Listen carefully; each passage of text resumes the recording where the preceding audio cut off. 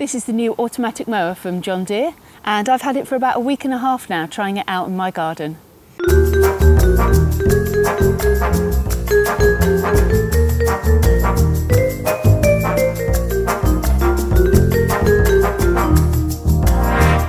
The key features of this mower are it's a mulching mower, so it takes a very fine clip of your lawn and then leaves the clippings on the lawn to mulch into the grass.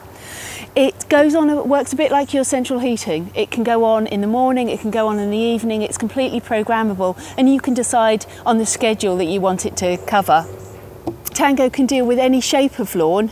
Um, as long as the perimeter wire follows the edge of the lawn, then Tango will cut within that shape. What it can't deal with is steps. When you first get the Tango mower from John Deere, the guys come round and they put a perimeter wire around your garden and you can see the perimeter wire here.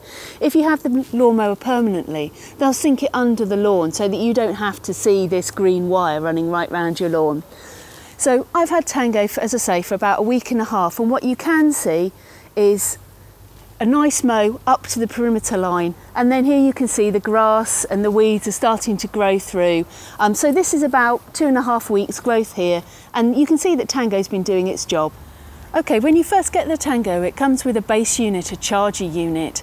Now, I've just got this in my setup in my garden on a 10 metre cable, but you can have it tucked away in your garden shed and provide a little mower flap for it, for it to come out, so you don't actually have to even see the thing.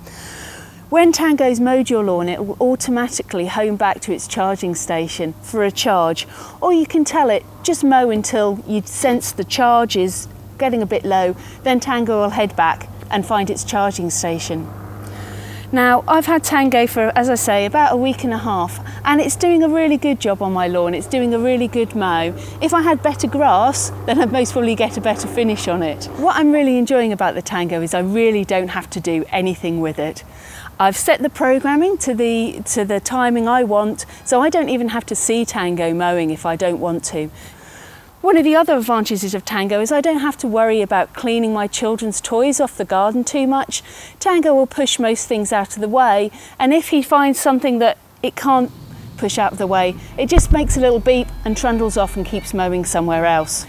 The downside to this mower is the £2,000 price tag, which is pretty hefty. You can actually pay someone for two, maybe three years with that money to come and mow your lawn. The other downside with Tango is that it doesn't know when it's raining. So if it does get caught in a, in a shower, it will just keep mowing away. You can't tell it to stop because it's damaging the grass.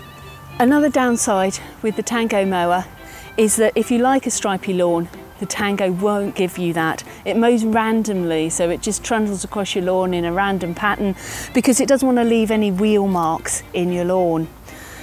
The other thing about the Tango mower—it doesn't go past its perimeter line, so you will end up, unless your lawn's absolutely ideal for Tango, with some grass that needs trimming. So you'll still need a grass trimmer and you'll still need to do that job.